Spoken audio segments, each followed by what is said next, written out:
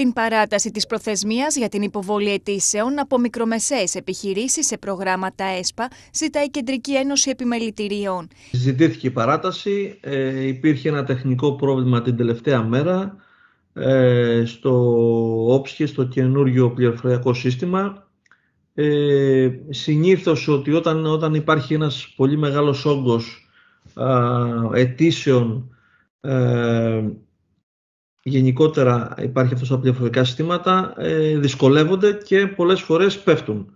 Έτσι λοιπόν ε, υπήρξε και αυτό το πρόβλημα, το οποίο το Υπουργείο μετά από παρεμβάσεις των επιμελητηρίων πήρε τη σωστή απόφαση και έδωσε παράταση μέχρι ε, αύριο Τετάρτη η προθεσμία για την υποβολή των αιτήσεων λήγει την Τετάρτη 27 Μαρτίου στις 3 η ώρα το μεσημέρι. Πρόκειται για δύο νέα προγράμματα ΕΣΠΑ, ενίσχυση της ίδρυσης και λειτουργίας νέων μικρομεσαίων τουριστικών επιχειρήσεων και ενίσχυση της ίδρυσης και λειτουργίας νέων μικρομεσαίων επιχειρήσεων. Εμείς ζητήσαμε μια εβδομάδα ε, σαν επιμελητήρια.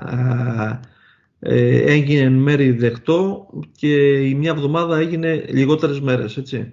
Ε, οπότε κλείνει μέχρι την Τετάρτη αύριο 27 του μήνα. Η Κεντρική Ένωση Επιμελητηρίων Ελλάδος, όπως αναφέρει σε ανακοίνωσή της, έχει γίνει τον τελευταίο καιρό αποδέκτης πληθώρας ετοιμάτων από επιμελητήρια, μέλη της, σχετικά με την παράταση και την ενίσχυση πόρων των νέων προγραμμάτων ΕΣΠΑ.